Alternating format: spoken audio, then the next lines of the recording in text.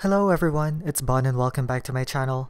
In this video, I would like to talk about my experience with using the Contax TVS while taking photos of my suburban neighborhood here in Calgary, Alberta.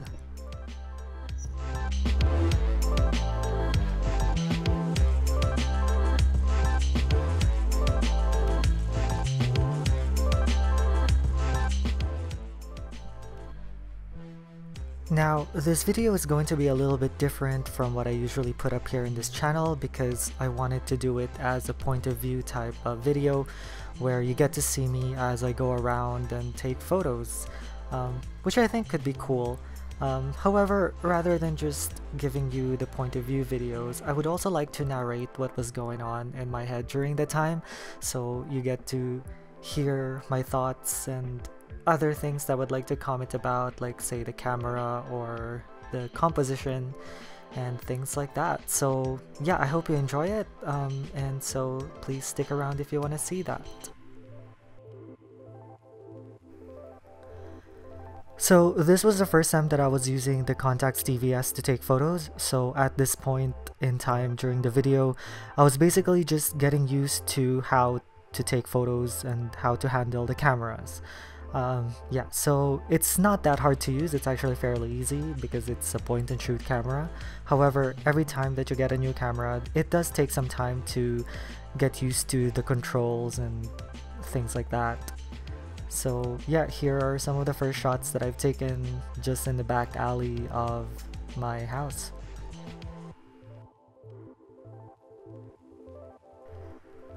And like I said in my previous videos, um, unlike when I am traveling or when I'm exploring a new city, um, going around my neighborhood in the suburbs is not as nice or it's not as interesting as say when I'm exploring a different city.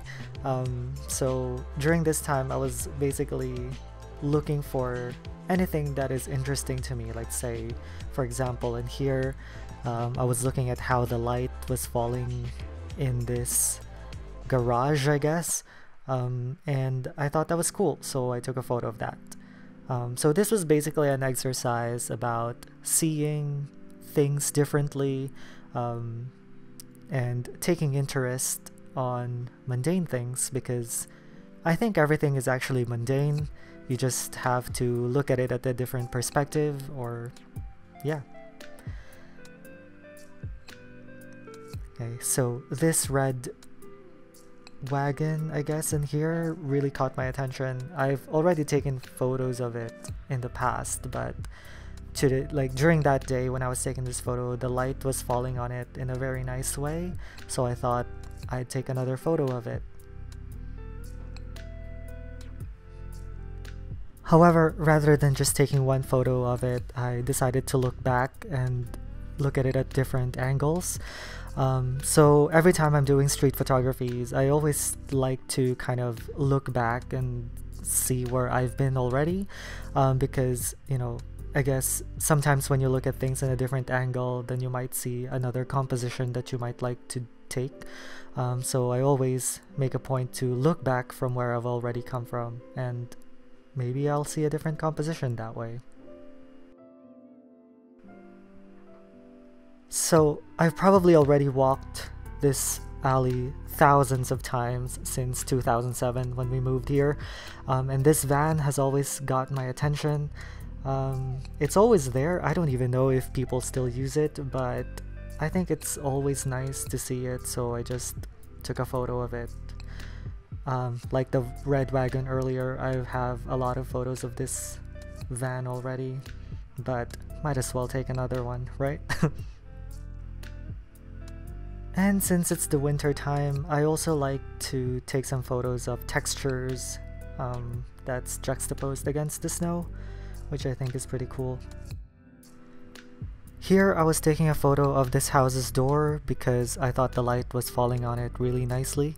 Um, but I was trying to do it a little bit low-key because the owner was there and I didn't want to look suspicious. Um, but I guess that happens when you're going around the suburbs and taking photos of people's houses. It can get a little bit awkward, I guess. Now, I haven't had any problems with that. Um, nobody has like tried to shoo me away from their property. Um, however, if that does happen, then I guess I'll just politely do what they want. I mean, it's their property, right? Uh, here, I really like to see this kid um, on the swing. Um, so I took a couple of photos here, um, which I thought is pretty nice.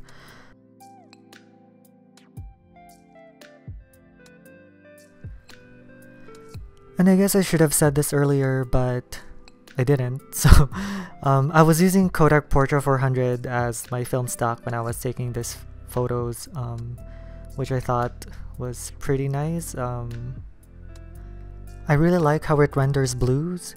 Um, like as you can see in here, it renders it more towards the teal colors, uh, and it's quite natural. So one major difference of the Contax TVS and the other T-series Contax cameras is that it has a zoom lens that goes from about 28 millimeters to about 55 millimeters. And as you can see in here, it's not a lot, however, it does give you a little bit of reach. Um, for example, in here when I was taking a photo of this fire truck, I zoomed in and I got this shot, which sometimes is pretty cool. At its widest end, the camera's maximum aperture is 3.5, and at its longest end, it maxes out to 6.3, which is a little bit dark, so I guess that's why a lot of people don't really like that. Um, also, because it's a zoom lens, then the sharpness is not the same as its prime lens counterparts. However, it is still a Carl Zeiss lens, which makes it a little bit better than other point-and-shoot cameras out there. And when I bought this camera, I thought that I would always be shooting using the 28mm wide end of it um, and stick to the 3.5 aperture. However, as you can see in here, I was actually using the telephoto part of it um, a lot of times because it makes for a good composition. Oh, and I really like this school bus um, mobile library that they have in here where you can leave books or borrow books from. And when I was doing this photo walk, I wasn't just walking around aimlessly per se. I actually knew that I wanted to go and visit this playground over here because I thought it would be nice to take some photos of the empty playground.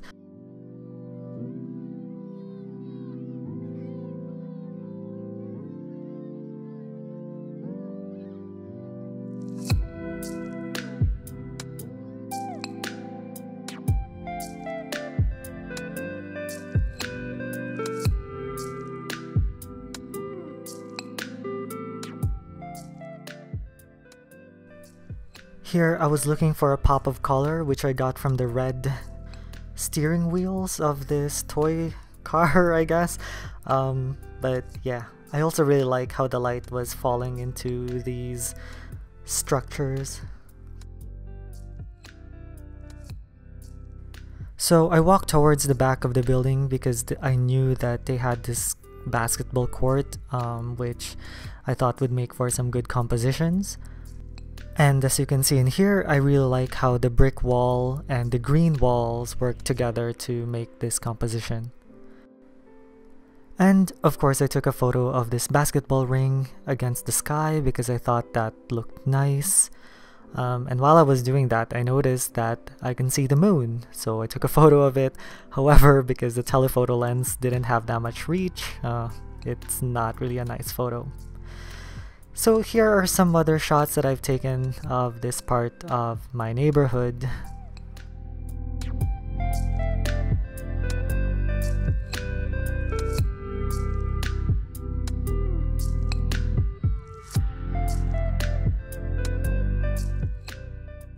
And at this point, I only had a few shots left on the camera, so I decided to turn back and yeah.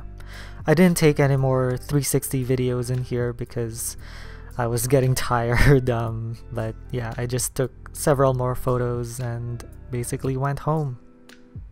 I did take photos of these cars that are covered by snow though because I thought there's something very Canadian about them um, and maybe give it 10 more years and these cars would be vintage and they would look nice. And last but not the least, I took a mirror selfie with a flash because there's not enough light. But yeah, that's pretty much everything. Yeah, so I guess that brings me to the end of that POV video, which I hope you enjoyed. Um, yeah, it's like different from what I usually put up, but I've been thinking of doing more of that in the future. So yeah, let me know your comments in the comment sections down below. Um, before I leave though, I would like to give a little bit of comment about this Contax TVS, which is the camera that I used throughout this video. Um, I actually really enjoyed using this camera. Uh, it is a little bit more on the expensive side. Not as expensive as the Contax T2, however, it still was about, I think, $500 when I got it. Um, so yeah, the prices are steadily getting higher though, so I don't know, maybe if you want it, maybe now is the time to buy it. So yeah, so like all Contax cameras, um, the build quality is really good. It's It has a nice solid feel to it. It feels sturdy. Um, the metal finishing is really nice.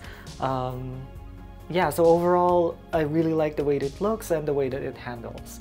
Um, as for the image quality, I wouldn't say that it is the best. I mean, yes, it is a Carl Zeiss lens. However, um, as you have seen from some of the photos that I put up earlier, like maybe some of the sides um, of the photos don't look as sharp um, as other cameras that I've used, which are probably cheaper. Um, yeah, I mean, it is pretty sharp in the center, however, in the sides, it is not that sharp. Uh, however, I don't really care that much about sharpness, especially if I'm just going around documenting things. Um, I prefer the look um, of the photo that I get, so that really depends more on the film that I use, um, as well as maybe editing and the scanning. Uh, and I don't know, like some of the blurry sides could be treated as character, I mostly shot this camera on program mode, which you do by selecting the kind of like the P symbol at the very front in here. I don't know if you can see that, but I will put a close-up shot maybe in post. But essentially, I just let the camera compute everything um, from aperture as well as um, shutter speed. I mean, during photo walks, I would usually be in f4 and above anyways, so I don't really need it to be on f3.5. Um, chances are I would actually prefer to be an f8 just to make sure that everything is in focus and I wouldn't have to worry about um, getting some misfocus and things like that. Anyways, yeah, so this camera comes with a built-in flash, which you can use. Um, I put up a photo earlier where I used the flash to take a selfie. Um, yeah, so that helps in low light situations, um, which means like the, the 3.5 to 6.5 aperture is really not that much big of a deal. I actually am okay with the 3.5 on the wider end. Um, that is usually fine for me. Um, especially this camera is more about documentation and usually I would only use larger apertures like f2 and below, say if I am doing a portrait shoot um, when I want to have some more subject and background separation. However, when I'm just documenting streets or things like that, I tend to not need those anyways. Um, yes, I feel like I'm just like making excuses to say that this camera is good when maybe it's not as good. I don't know. Um, no, but this camera is good. I liked it. The focusing is quite good actually. Um, I didn't have any images that were out of focus. Um, and maybe because that's also because I'm mostly shooting like further away from me, like a few meters away. Uh, I haven't really tried to take photos of something close up. Uh, maybe I should, uh, just to see how accurate that um, autofocus is. Uh, yeah, it does have a timer, so if you want to take your own photos or if you want to be in a group photos or things like that, then you can use the timer. What else do I want to talk about? Um, I always had this camera on plus one. Uh, so if you can see in here, I always have that exposure compensation to be on plus one, um, just because I'm just always a little bit worried that I am not getting enough light, especially when I'm on like a lower speed ISO film. So I always just have it on plus one. I find that usually that would give me the best uh, exposure Um, however, I will use that, like say if my subject is backlit or if there's like a bright source of light in the photos and I don't want it to overpower the rest of the image, then I would make sure to add some more exposure compensation. Yeah, so I didn't show it in any photos in this video so far. However, this camera does come with a panoramic mode. Um, and I believe out of all of the versions for the Contax TVS, it is only the first one that comes with it. And you do it by toggling this um, slider over here. So if you just slide it and then you see the P character, then that means you are on panoramic mode. It also changes the viewfinder. So if you look through it, you're gonna see lines that basically show you where your composition is going to be in panoramic mode, which I think is really cool. Um, so that's actually one of the reasons why I got the first version of the Contax TVS rather than the updated versions, which is supposed to have better functionalities or upgrades. Um, however, those versions do not have the panoramic mode anymore. Um, and yes, I think it is a gimmick. However, it is something that I want to have. Actually, I've already gone out and used this camera to just take um, everything panoramic. Um, so if you want to see that video, do comment. Actually, you will see that video because I'm going to be doing that as my next one. So yeah. Alright, so I've been experimenting a lot lately with the types of videos that I've been putting up here on my YouTube channel. And one of the things that I was thinking about was you know, every time I go out and do maybe street photographies and things like that, I don't really want to be bogged down by having to film and take photos at the same time because I think that kind of removes me from the moment and the enjoyment of taking photos. Um, however, I do want to maybe capture some of my process because I get to learn from it. And also I get to share it here on my YouTube channel. Um, so yeah, I guess that's like two birds with one stone. So what I've done is that I've gone ahead and bought an instant 360 camera. Um, this is the One X2. Uh, I got it over the Christmas and I've been playing with it. So you, uh, some of the footages from I guess two, three videos that I've put up recently had some footage taken from this camera. Um, it's actually very easy and fun to use, um, but I am still learning and experimenting on how to basically take videos while I take photos as less intrusive as possible to my process because it changes things, right? Like I know some people use GoPro, however, um, I kind of just like to have this 360 uh, camera because then I don't have to think about the composition of the video that's being taken by the you know the, the camera. So I just really dislike it when the GoPro video had like a misaligned horizon. Hey, maybe that's just the perfectionist in me um, that hates to see misaligned horizon. So it is nice to have the 360 video because I can just recompose the shot afterwards. Like I can choose which angle the video is looking at um, and I didn't really have to think about that afterwards, right? Which is, or I didn't have to think about those while the video was being taken. So that's, I think, is a plus. Um, yeah, and then I don't know, like maybe if you like seeing my face, um, then I can also put that on the side of the video. However, I do kind of dislike it that when I was editing the video footage using um, Insta360's app, they only have like one spot where the selfie video appears on the video. It's always like kind of like on the top, I don't know where this is gonna appear, like maybe here or here. It's always on that side of the video, which I kind of would have preferred it if I can change where it appears. And I guess I can do this other thing where I can just like take two videos out of it, one of like kind of like the front POV and then the selfie POV, uh, extract it as two separate video files and then so later on when I go to Adobe Premiere where I edit most of my footages, then I can just uh, basically put the two videos together and then I can choose where to put the selfie video. However, I felt like that's a little bit too much work and I am a busy person and I still want to have free time.